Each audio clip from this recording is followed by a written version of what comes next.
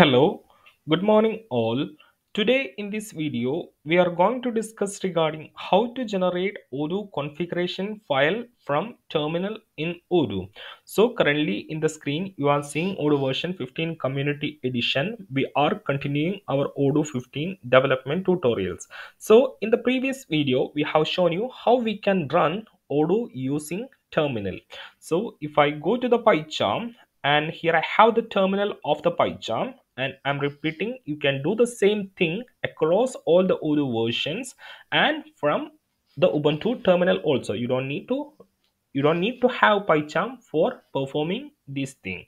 So here I can see if I click on enter here you can see this is the command that we have used to run the Odoo. That is I have specified the Python path initially so this i have to run the following command using this python.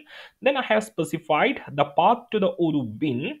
Then i have specified add-ons path to mount to this odoo instance and minus r to specify the db user minus w to specify the database password database user password and db host localhost db port and the Odoo port has been specified.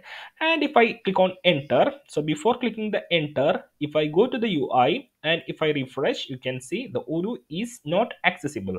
And if I click on enter this command will be getting executed. And here you can see Odoo is running on 8055 and if I go to the UI you can see the refresh and you can see the Odoo is accessible. So we already have learned how to run Odoo from terminal or command line.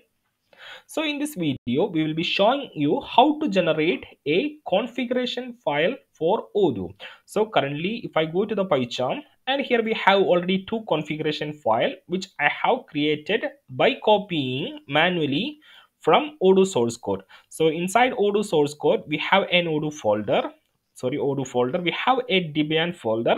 So initially what i have done is i have taken a copy from here to create this configuration file. So we have another option to generate the configuration file from the terminal. So let's see how we can do that. So let's assume a case where you have to create a configuration file a new configuration file and let's see how we can achieve that using the terminal. So here we have the terminal and finally what i will be doing is that i'll be creating a new configuration file inside this conf folder. So i'll take the command. So let me clear the log first so it will be a little more neat. So i'll type the clear command in order to remove all these clear. And what i'll do here i have the Odoo command line. So along with this option, I will add stop after init. That is, it has to stop after initialization. Stop after init. Then what I have to do? Minus s. Minus s to save this configuration and I'll specify a path. So I'll take path to this configuration file, control V and inside conf, I'll create a new file. I'll name it as odoo test.conf here i'm giving a new path. So currently inside conf we don't have such a file test.conf so i'm saying to the system it has to stop after initialization and minus s for saving to this configuration. So if i click on enter you can see the server has been initiated and it has been stopped. And if you check the configuration file so it may take a little time so for the PyCharm to synchronize and if I just close and open it you can see odoo test.conf has been generated. So here you can see we have given the name as odoo test.conf and here you have a new file. And if you open that you can see it comes with all the variables. So here you can see you have add-ons path which you have specified over here. Add-ons path home dev odoo 15 add-ons and custom add-ons. Yeah it's coming here and if you scroll down db host is localhost db password is odoo. Db user odoo 15 db user you have specified odoo 15 it is coming here.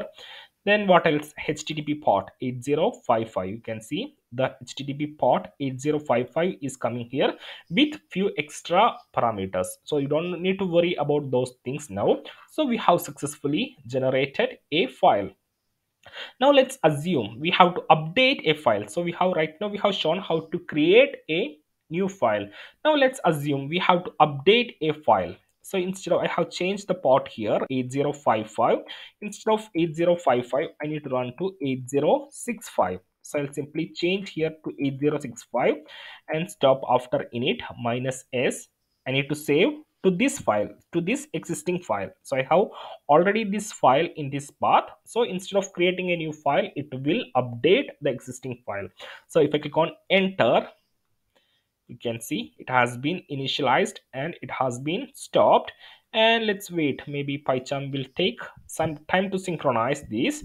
So if I close this and if I open odoo test you can see here it's changed to 8065 so this is how you can generate a configuration odoo configuration file from odoo cli just python path odoo bin enter your all the arguments. Addons path minus r for db user minus w for password. You have to specify the db host db port minus p and specify the port number. Top after init minus s to save minus c which file you need to save or create. So this is how you can run or how you can generate a odoo configuration file from terminal. So i hope you understood this video. If you like the video please do click the like button and subscribe the channel so that you won't miss any videos from mates so if you have any queries feedbacks or suggestions don't hesitate to share with us as a comment or you can reach us over the email at odoomates at gmail.com and feel free to connect us in the social medias like linkedin facebook twitter and instagram. So that's it for the day. Have a nice day. Thank you